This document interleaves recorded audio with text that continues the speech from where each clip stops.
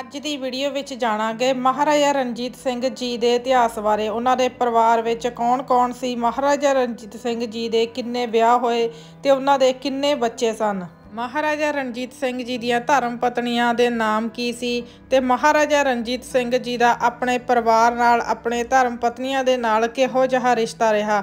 ਇੰਨਾ ਵੱਡਾ ਪਰਿਵਾਰ ਹੋਣ ਦੇ ਬਾਅਦ ਵੀ ਮਹਾਰਾਜਾ ਰਣਜੀਤ ਸਿੰਘ ਜੀ ਦਾ ਰਾਜ ਕਿਵੇਂ ਖਤਮ ਹੋ ਗਿਆ? ਉਹਨਾਂ ਦਾ ਵੰਸ਼ ਅੱਗੇ ਕਿਉਂ ਨਾ ਵੱਧ ਸਕਿਆ? ਇਸ ਵੀਡੀਓ ਦੇ ਰਾਹੀਂ ਤੁਹਾਨੂੰ ਮਹਾਰਾਜਾ ਰਣਜੀਤ ਸਿੰਘ ਜੀ ਦੇ ਪੂਰੇ ਪਰਿਵਾਰ ਬਾਰੇ ਜਾਣਕਾਰੀ ਮਿਲੇਗੀ। ਸੋ ਵੀਡੀਓ ਨੂੰ ਪੂਰਾ ਸੁਣਨਾ।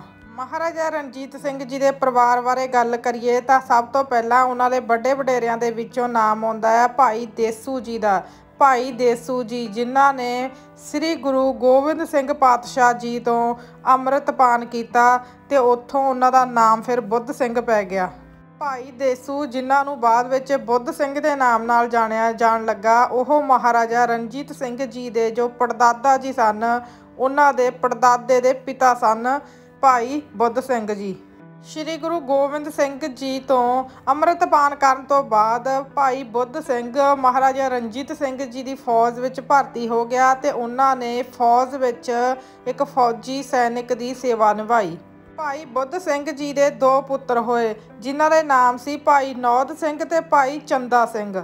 ਭਾਈ ਬੁੱਧ ਸਿੰਘ ਜੀ ਦਾ ਪੁੱਤਰ ਭਾਈ ਨੌਦ ਸਿੰਘ, ਜੋ ਕਿ ਮਹਾਰਾਜਾ ਰਣਜੀਤ ਸਿੰਘ ਜੀ ਦਾ ਪੜਦਾਦਾ ਲੱਗਦਾ ਸੀ। ਉਹ ਨਵਾਬ ਕਪੂਰ ਸਿੰਘ ਜੀ ਦੇ ਸਮੇਂ ਜੰਗਲਾਂ ਵਿੱਚ ਉਹਨਾਂ ਦੇ ਨਾਲ ਰਹਿੰਦੇ ਸਨ। ਜਦੋਂ ਸਿੱਖ ਮਿਸਲਾਂ ਦੇ ਰੂਪ ਵਿੱਚ ਗਠਿਤ ਹੋਏ ਤੇ ਮਿਸਲਾਂ ਬਣੀਆਂ, ਉਸ ਸਮੇਂ ਭਾਈ ਨੌਦ ਸਿੰਘ ਜੀ, ਨਵਾਬ ਕਪੂਰ ਸਿੰਘ ਜੀ ਦੇ ਜਥੇ ਵਿੱਚ ਸ਼ਾਮਲ ਹੁੰਦੇ ਸਨ। ਨੌਦ ਸਿੰਘ ਜੀ, ਜੋ ਕਿ ਮਹਾਰਾਜਾ ਰਣਜੀਤ ਸਿੰਘ ਜੀ ਦੇ ਪੜਦਾਦਾ ਜੀ ਸਨ, ਉਹਨਾਂ ਦੇ ਅੱਗੇ ਫਿਰ ਚਾਰ ਪੁੱਤਰ ਹੋਏ। ਇਹਨਾਂ ਵਿੱਚੋਂ ਇੱਕ ਪੁੱਤਰ ਦਾ ਨਾਂ ਸੀ ਚੜਤ ਸਿੰਘ ਜਿਸ ਨੇ ਅੱਗੇ ਚੱਲ ਕੇ ਸੁਕਰ ਚੱਕਿਆ ਮਿਸਲ ਦੀ ਬਾਂਗਡੋਰ ਸੰਭਾਲੀ। ਚੜਤ ਸਿੰਘ ਮਹਾਰਾਜਾ ਰਣਜੀਤ ਸਿੰਘ ਜੀ ਦੇ ਦਾਦਾ ਜੀ ਲੱਗਦੇ ਸਨ। ਅਹਿਮਦ ਸ਼ਾਹ ਅਬਦਾਲੀ ਦੇ ਸਮੇਂ ਚੜਤ ਸਿੰਘ ਬਹੁਤ ਵੱਡੇ ਜੁਝਾਰੂ ਯੋਧੇ ਤੇ ਜਰਨੈਲ ਸਨ ਤੇ ਉਹਨਾਂ ਨੇ ਅਹਿਮਦ ਸ਼ਾਹ ਅਬਦਾਲੀ ਦੇ ਹਮਲਿਆਂ ਦਾ ਡਟ ਕੇ ਸਾਹਮਣਾ ਕੀਤਾ। ਉਸ ਸਮੇਂ ਉਹਨਾਂ ਨੇ ਸ਼ੁਕਰ ਚੱਕੀਆ ਮਿਸਲ ਹੋਂਦ ਵਿੱਚ ਲਿਆਂਦੀ। ਭਾਵੇਂ ਕਿ ਪਹਿਲਾਂ ਸਿੱਖ ਸੰਗਠਨ ਹੋ ਰਹੇ ਸਨ, ਉਹਨਾਂ ਦੇ ਅਲੱਗ-ਅਲੱਗ ਗਰੁੱਪ ਬਣੇ ਸਨ, ਪਰੰਤੂ ਅਹਿਮਦ ਸ਼ਾਹ ਅਬਦਾਲੀ ਦੇ ਸਮੇਂ ਸਿੱਖ ਮਿਸਲਾਂ ਦੇ ਰੂਪ ਵਿੱਚ ਉੱਭਰ ਕੇ ਸਾਹਮਣੇ ਆਏ। ਤੇ ਸੁਕਰ ਚੱਕੀਆ ਮਿਸਲ ਦੇ ਆਗੂ ਬਣੇ ਚੜਤ ਸਿੰਘ ਸੁਕਰ ਚੱਕੀਆ। ਚੜਤ ਸਿੰਘ ਦੇ ਘਰ ਪੈਦਾ ਹੋਇਆ ਮਹਾ ਸਿੰਘ, ਜੋ ਕਿ ਮਹਾਰਾਜਾ ਰਣਜੀਤ ਸਿੰਘ ਜੀ ਦੇ ਪਿਤਾ ਜੀ ਸਨ ਤੇ ਚੜਤ ਸਿੰਘ ਦੀ ਮੌਤ ਤੋਂ ਬਾਅਦ ਸੁਕਰ ਚੱਕੀਆ ਮਿਸਲ ਦੀ ਬਾਗਡੋਰ ਸੰਭਾਲੀ ਮਹਾ ਸਿੰਘ ਨੇ, ਜੋ ਕਿ ਮਹਾਰਾਜਾ ਰਣਜੀਤ ਸਿੰਘ ਜੀ ਦੇ ਪਿਤਾ ਜੀ ਸਨ। ਸਰਦਾਰ ਮਹਾ ਸਿੰਘ ਜੀ ਦੇ ਘਰ ਪੈਦਾ ਹੋਇਆ ਇੱਕ ਪੁੱਤਰ, ਜਿਸ ਦਾ ਨਾਂ ਰੱਖਿਆ ਗਿਆ ਰਣਜੀਤ ਸਿੰਘ, ਜੋ ਅੱਗੇ ਚੱਲ ਕੇ ਬਣੇ ਮਹਾਰਾਜਾ ਰਣਜੀਤ ਸਿੰਘ। ਇੱਥੋਂ ਤੱਕ ਦਾ ਇਤਿਹਾਸ ਸੀ ਮਹਾਰਾਜਾ ਰਣਜੀਤ ਸਿੰਘ ਜੀ ਦੇ ਪੁਰਖਿਆਂ ਦਾ ਇਤਿਹਾਸ।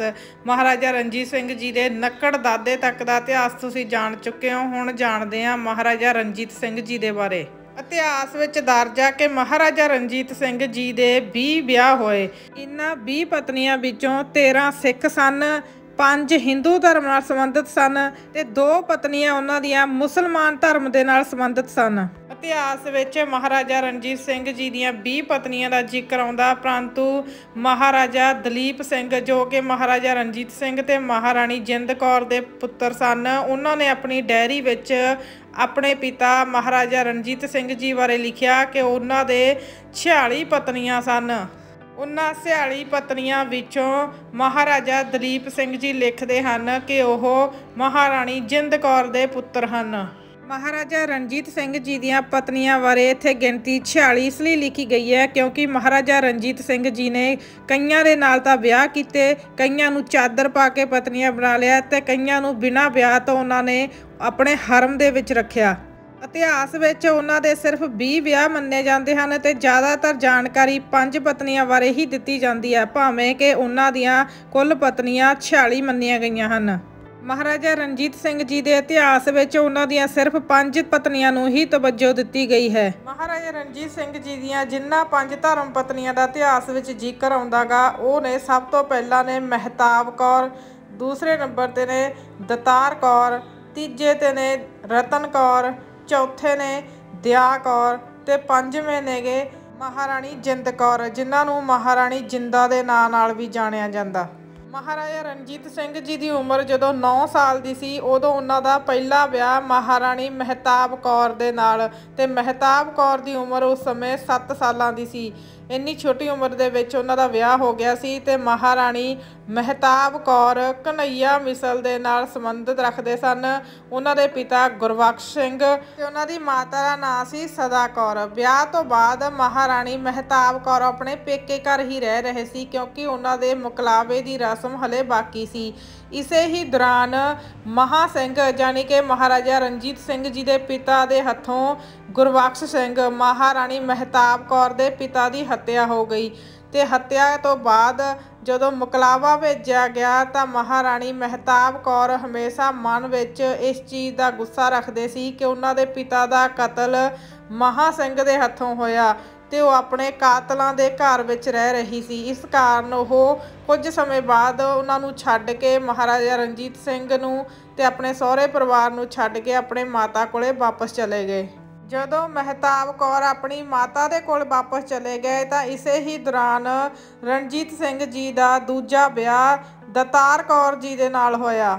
ਮਹਾਰਾਜਾ ਰਣਜੀਤ ਸਿੰਘ ਜੀ ਦੀ ਦੂਜੀ ਧਰਮ ਪਤਨੀ ਮਹਾਰਾਣੀ ਦਤਾਰ ਕੌਰ ਨਕਈ ਮਿਸ਼ਲ ਦੇ ਨਾਲ ਸੰਬੰਧ ਰੱਖਦੇ ਸੀ, ਜਿਸ ਕਾਰਨ ਮਹਾਰਾਜਾ ਰਣਜੀਤ ਸਿੰਘ ਜੀ ਉਹਨਾਂ ਨੂੰ ਪਿਆਰ ਦੇ ਨਾਲ ਨਕੈਣ ਬੁਲਾਇਆ ਕਰਦੇ ਸਨ, ਕਿਉਂਕਿ ਮਹਾਰਾਜਾ ਰਣਜੀਤ ਸਿੰਘ ਜੀ ਦਾ ਆਪਣੀ ਦੂਜੀ ਧਰਮ ਪਤਨੀ ਦੇ ਨਾਲ ਰਿਸ਼ਤਾ ਬਹੁਤ ਵਧੀਆ ਨਿਭਿਆ। ਮਹਾਰਾਜਾ ਰਣਜੀਤ ਸਿੰਘ ਜੀ ਦੇ ਦੂਜੇ ਵਿਆਹ ਤੋਂ ਬਾਅਦ ਉਹ ਪਹਿਲੀ ਵਾਰ ਪਿਤਾ ਬਣੇ ਕਿਉਂਕਿ ਉਹਨਾਂ ਨੂੰ ਦੂਜੀ ਧਰਮ ਪਤਨੀ ਤੋਂ ਇੱਕ ਪੁੱਤਰ ਦੀ ਪ੍ਰਾਪਤੀ ਹੋਈ, ਜਿਸ ਦਾ ਨਾਂ ਰੱਖਿਆ ਗਿਆ ਖੜਕ ਸਿੰਘ। ਤੇ ਜੋ ਅੱਗੇ ਚੱਲ ਕੇ ਮਹਾਰਾਜਾ ਰਣਜੀਤ ਸਿੰਘ ਜੀ ਦੀ ਮੌਤ ਤੋਂ ਬਾਅਦ ਬਣੇ ਮਹਾਰਾਜਾ ਖੜਕ ਸਿੰਘ। ਇਤਿਹਾਸ ਵਿੱਚ ਦਰਜ ਹੈ ਕਿ ਜਦੋਂ ਮਹਾਰਾਜਾ ਰਣਜੀਤ ਸਿੰਘ ਜੀ ਨੂੰ ਉਹਨਾਂ ਦੀ ਦੂਜੀ ਧਰਮ ਪਤਨੀ ਤੋਂ ਪੁੱਤਰ ਦੀ ਪ੍ਰਾਪਤੀ ਹੋਈ ਤੇ ਇਹ ਖਬਰ ਜਦੋਂ ਉਹਨਾਂ ਨੂੰ ਉਹਨਾਂ ਦੀ ਪਹਿਲੀ ਘਰਵਾਲੀ ਯਾਨੀ ਕਿ ਮਹਾਰਾਣੀ ਮਹਿਤਾਬ ਕੌਰ ਦੇ ਮਾਤਾ ਨੂੰ ਪਤਾ ਲੱਗੀ, ਤਾਂ ਫਿਰ ਉਹਨਾਂ ਦੇ ਕਹਿਣ ਤੇ ਹੀ ਮਹਾਰਾਣੀ ਮਹਿਤਾਬ ਕੌਰ ਵਾਪਸ ਆਪਣੇ ਸਹੁਰੇ ਘਰ ਆ ਗਏ ਤੇ ਇੱਥੇ ਕਈ ਸਾਲਾਂ ਦੇ ਬਾਅਦ ਫਿਰ ਉਹਨਾਂ ਨੂੰ ਇੱਕ ਪੁੱਤਰ ਦੀ ਪ੍ਰਾਪਤੀ ਹੋਈ, ਜਿਸ ਦਾ ਨਾਂ ਰੱਖਿਆ ਗਿਆ ਈਸਰ ਸਿੰਘ। ਈਸਰ ਸਿੰਘ ਦੀ ਉਮਰ ਹਲੇ 1 ਸਾਲ ਵੀ ਪੂਰੀ ਨਹੀਂ ਸੀ ਹੋਈ, ਜਦੋਂ ਮਹਾਰਾਣੀ ਮਹਿਤਾਬ ਕੌਰ ਦੀ ਗੋਦ ਫਿਰ ਤੋਂ ਸੁੰਨੀ ਹੋ ਗਈ ਕਿਉਂਕਿ ਈਸਰ ਸਿੰਘ ਦੀ ਮੌਤ 1 ਸਾਲ ਦੇ ਅੰਦਰ ਅੰਦਰ ਹੀ ਹੋ ਗਈ। ਪਹਿਲੇ ਪੁੱਤਰ ਦੀ ਮੌਤ ਤੋਂ ਬਾਅਦ ਮਹਾਰਾਣੀ ਮਹਿਤਾਬ ਕੌਰ, ਜੋ ਕਿ ਮਹਾਰਾਜਾ ਰਣਜੀਤ ਸਿੰਘ ਜੀ ਦੇ ਪਹਿਲੇ ਧਰਮ ਪਤਨੀ ਮੰਨੇ ਜਾਂਦੇ ਹਨ, ਉਹਨਾਂ ਨੇ ਫਿਰ ਦੋ ਪੁੱਤਰਾਂ ਨੂੰ ਜਨਮ ਦਿੱਤਾ, ਜਿਨ੍ਹਾਂ ਦਾ ਨਾਮ ਰੱਖਿਆ ਗਿਆ ਤਾਰਾ ਸਿੰਘ ਤੇ ਸ਼ੇਰ ਸਿੰਘ। ਗੁਜਰਾਤ ਦੇ ਰਹਿਣ ਵਾਲੇ ਸਾਹਿਬ ਸਿੰਘ ਜੋ ਕਿ ਭੰਗੀ ਮਿਸਲ ਦੇ ਆਗੂ ਬਣੇ, ਉਹਨਾਂ ਦੀਆਂ ਦੋ ਧਰਮ ਪਤਨੀਆਂ ਸਨ, ਦਿਆ ਕੌਰ ਤੇ ਰਤਨ ਕੌਰ। ਜਦੋਂ ਸਾਹਿਬ ਸਿੰਘ ਦੀ ਮੌਤ ਹੋ ਗਈ ਤਾਂ ਉਸ ਤੋਂ ਬਾਅਦ ਮਹਾਰਾਜਾ ਰਣਜੀਤ ਸਿੰਘ ਨੇ ਭੰਗੀ ਮਿਸਲ ਨੂੰ ਆਪਣੀ, ਆਪਣੇ ਰਾਜ ਵਿੱਚ ਮਿਲਾ ਲਿਆ ਤੇ ਉਹਨਾਂ ਦੀਆਂ ਦੋਨੋਂ ਹੀ ਪਤਨੀਆਂ ਦੇ ਨਾਲ ਵਿਆਹ ਵੀ ਕਰ ਲਿਆ। ਇਸ ਤਰ੍ਹਾਂ ਰਤਨ ਕੌਰ ਤੇ ਦਿਆ ਕੌਰ, ਪਹਿਲਾਂ ਵਿਧਵਾ ਸਨ, ਉਸ ਤੋਂ ਬਾਅਦ ਮਹਾਰਾਜਾ ਰਣਜੀਤ ਸਿੰਘ ਜੀ ਦੀਆਂ ਧਰਮ ਪਤਨੀਆਂ ਬਣੀਆਂ। ਮਹਾਰਾਜਾ ਰਣਜੀਤ ਸਿੰਘ ਦੇ ਇਹਨਾਂ ਦੋਨਾਂ ਪਤਨੀਆਂ ਤੋਂ ਤਿੰਨ ਪੁੱਤਰਾਂ ਦੀ ਪ੍ਰਾਪਤੀ ਹੋਈ।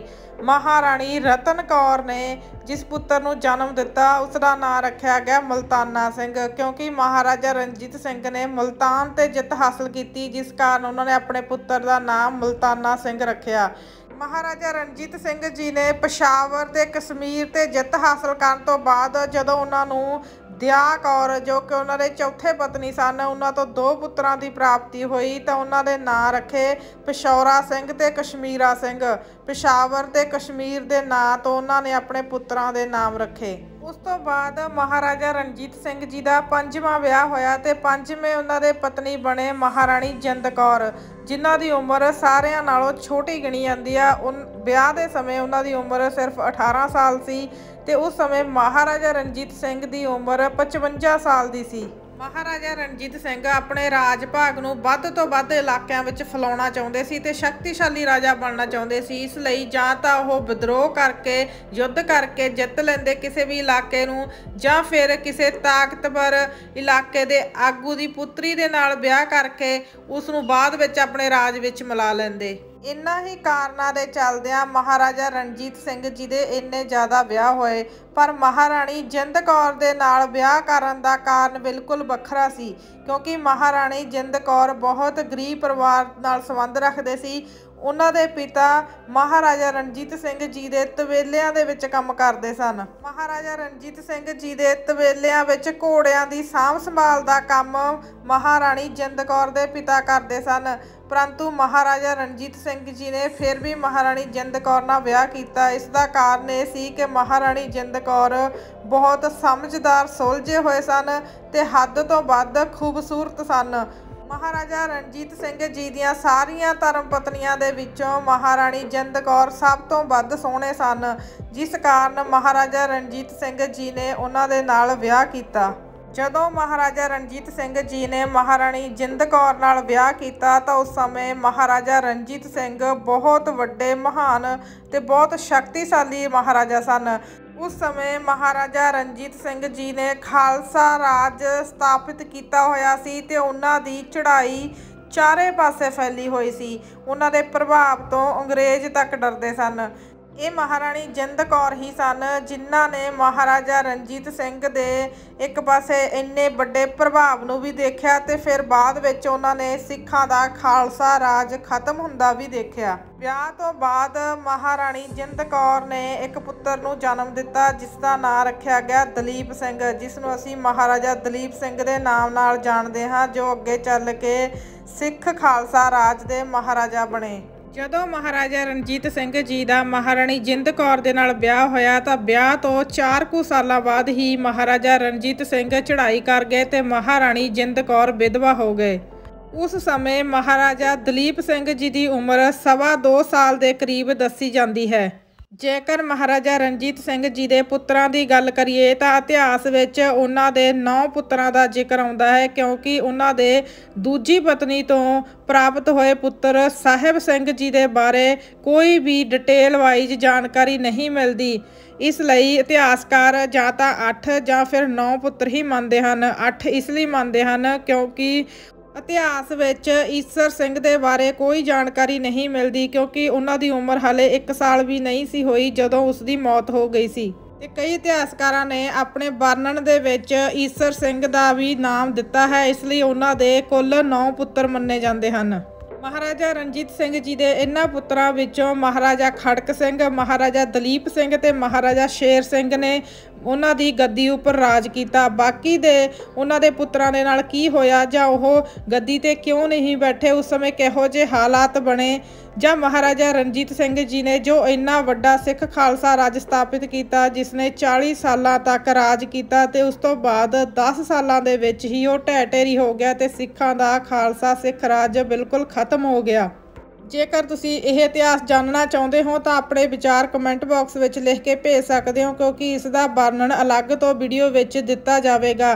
ਤੇ ਬਾਕੀ ਇਹ ਇਤਿਹਾਸ ਜੋ ਤੁਸੀਂ ਅੱਜ ਸੁਣਿਆ ਹੈ, ਇਹ ਕਿਹੜੀ ਕਿਹੜੀ ਸੰਗਤ ਹੈ ਜਿਸ ਨੇ ਇਤਿਹਾਸ ਪਹਿਲਾਂ ਵੀ ਸੁਣਿਆ ਹੋਇਆ ਹੈ, ਜਾਂ ਫਿਰ ਉਹ ਸੰਗਤ ਕਿਹੜੀ ਹੈ, ਜਿਨ੍ਹਾਂ ਨੇ ਇਸ ਵੀਡੀਓ ਦੇ ਰਾਹੀਂ ਇਹ ਇਤਿਹਾਸ ਪਹਿਲੀ ਵਾਰੀ ਜਾਣਿਆ ਹੈ, ਕਮੈਂਟ ਬਾਕਸ ਦੇ ਵਿੱਚ ਆਪਣੇ ਵਿਚਾਰ ਜ਼ਰੂਰ ਭੇਜਣਾ। ਤੁਸੀਂ ਕਿਹੜੇ ਪਿੰਡ ਜਾਂ ਸ਼ਹਿਰ ਤੋਂ ਇਹ ਵੀਡੀਓ ਦੇਖ ਰਹੇ ਹੋ, ਇਹ ਵੀ ਜ਼ਰੂਰ ਦੱਸਣਾ। ਇਸ ਟੌਪਿਕ ਦੇ ਨਾਲ ਰਿਲੇਟਡ ਤੁਹਾਡੇ ਕੋਲ ਹੋਰ ਕੋਈ ਵੀ ਜਾਣਕਾਰੀ ਹੋਵੇ, ਤੁਸੀਂ ਆਪਣੇ ਵਿਚਾਰ ਸਾਡੇ ਨਾਲ ਸਾਂਝੇ ਕਰ ਸਕਦੇ ਹੋ, ਸਾਨੂੰ ਜਾਣਕਾਰੀ ਭੇਜ ਸਕਦੇ ਹੋ। ਬਾਕੀ ਜੋ ਵੀ ਇਤਿਹਾਸ ਅਸੀਂ ਦੱਸਿਆ, ਇਤਿਹਾਸ ਦੱਸਦਿਆਂ ਹੋਇਆਂ ਕੋਈ ਵੀ ਗਲਤੀ ਹੋ ਗਈ ਹੋਵੇ ਤਾਂ ਭੁੱਲ ਚੁੱਕ ਮਾਫ ਕਰਨਾ ਤੇ ਸੁਣਨ ਦੇ ਲਈ ਤੁਹਾਡਾ ਬਹੁਤ ਬਹੁਤ ਧੰਨਵਾਦ। ਵਾਹਿਗੁਰੂ ਜੀ ਕਾ ਖਾਲਸਾ, ਵਾਹਿਗੁਰੂ ਜੀ ਕੀ ਫਤਿਹ।